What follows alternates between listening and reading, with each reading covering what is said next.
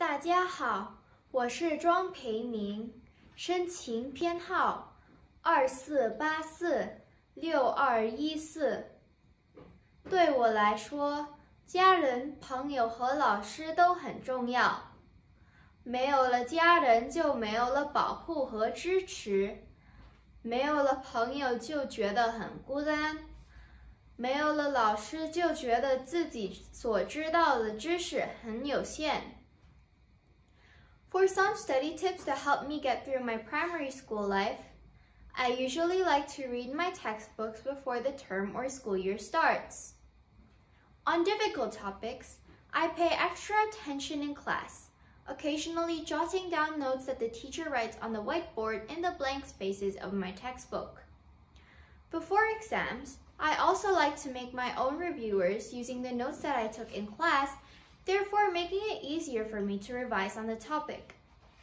As I expect the secondary school curriculum is more difficult than primary school, other than using my older approaches, I will also do my own research on difficult topics.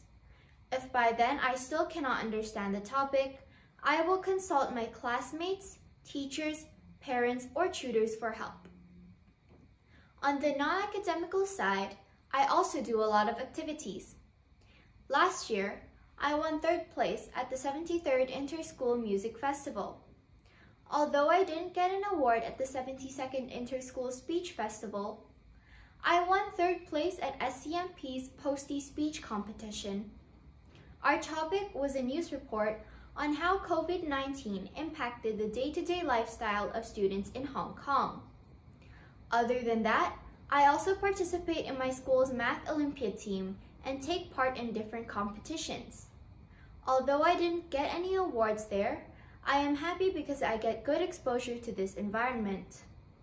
My interests are dancing, but I like singing more.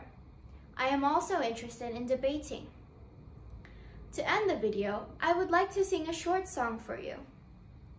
Sing, sing a song, a song of joy, a song of peace and love, a song all together.